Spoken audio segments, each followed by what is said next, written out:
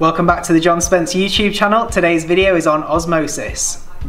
Osmosis is the movement of water from a high concentration to a low concentration via a partially permeable membrane.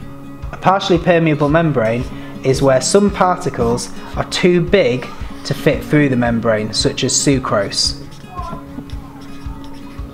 Other particles like water are small enough to pass through.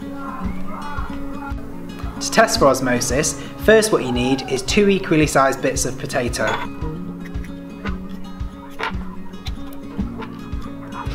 You need to make sure the width and length of these are the same. These are then put in different concentration solutions.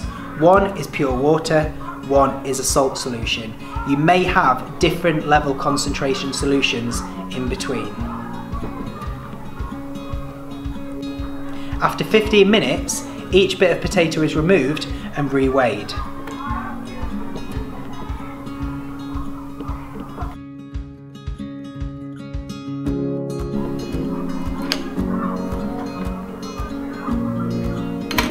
Next you must calculate the percentage change in mass. This may be an increase or a decrease. To calculate the percentage change in mass, you need to do the final mass minus the initial mass and divide this number by the initial mass. To work it out as a percentage, you must then times this value by 100. If it is a positive number, there has been an increase in mass.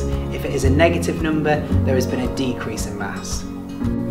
If your initial mass was 0.96 grams, and your final mass was 1.24 grams, it is put into the equation as shown. This number is then times by 100 to work it out as a percentage.